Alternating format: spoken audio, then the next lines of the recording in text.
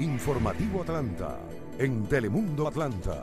Informativo Atlanta llega a ustedes por cortesía de Supermercados Publix, donde comprar es un placer. Bienvenidos a Informativo Atlanta, aquí en Telemundo. Soy Jorge Buzo y esto es lo más importante. Miembros de la organización denominada Construcción de Liderazgo para el Empoderamiento de Atlanta o HABLE y la Fundación Gamaliel realizaron un servicio religioso y manifestación a las afueras del edificio del Servicio de Inmigración y Aduanas ICE en el centro de la ciudad de Atlanta.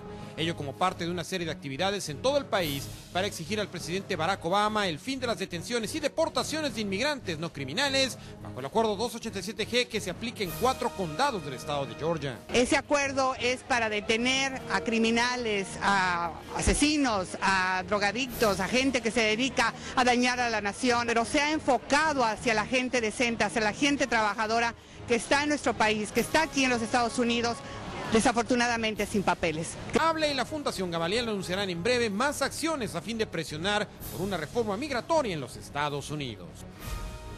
Y con la presencia del alcalde de Atlanta, Casim Reed, fueron inauguradas en Buckhead las nuevas instalaciones de la Cámara de Comercio Hispana de Georgia, el moderno y bien ubicado complejo de oficinas para brindar mejor servicio a sus miembros.